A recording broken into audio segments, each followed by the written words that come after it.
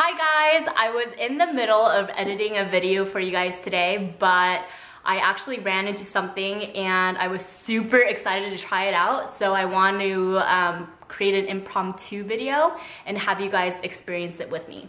So I ran into an article that talked about Remote Mouse and what this is is a mobile app that turns your mobile device or your iPad into a remote control so that you can control your laptop or your computer from wherever you are.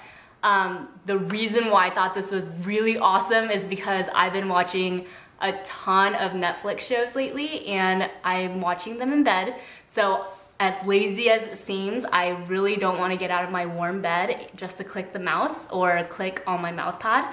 So I thought this would be a fun thing to try out. Once you download the app on the App Store, you're gonna have to also download the PC or Mac version going on the remotemouse.net website and downloading the server. So after you download the mobile app on your phone or your iPad, this is what it looks like and it's this app right here.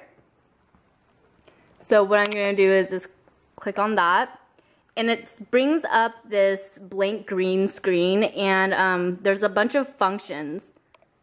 So I could get rid of the keypad, but what this does is basically your mouse trackpad that connects to your laptop. So before you wanna do any of this though, you're gonna wanna connect your device to the same Wi-Fi connection as your computer or the laptop that you're using. I've already connected my device to my laptop, so they're both on the same Wi-Fi connection right now.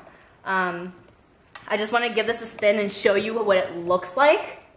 Okay, so after I connected both my device, mobile device to my laptop on the same Wi-Fi connection, it's gonna let you um, use the mouse pad on your screen. Okay, so it looks like my connection just reset, so I'm gonna have to start over again.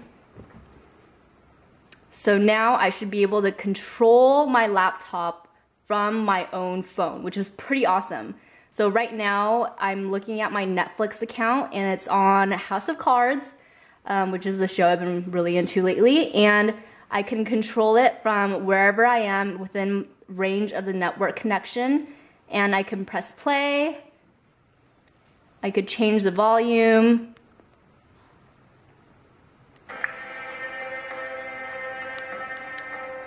I can also scroll using my two fingers.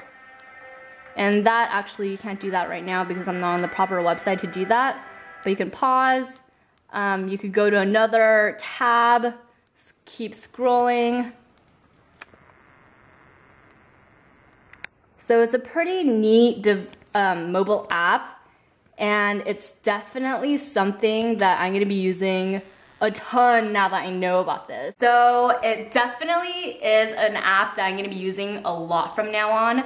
Um, since I can control it using um, just my mobile device, I'm also gonna install it on my iPad and I'm also gonna tell my parents about this because they're gonna love it. They would rather sit on the couch and control things from their laptop using just their mobile device. So I think it's pretty revolutionary. Um, why I've never heard about this until now, I, I, do not know, but I definitely wanted to share it with you guys so that you guys are in the know also. Um, this is probably gonna go into my February favorites video, but we'll see after I test it out for a couple more weeks. Um, so let me know if you decide to download this or if you've actually run into an app that's similar to this, but actually something that I would enjoy more. Just let me know in the comments below.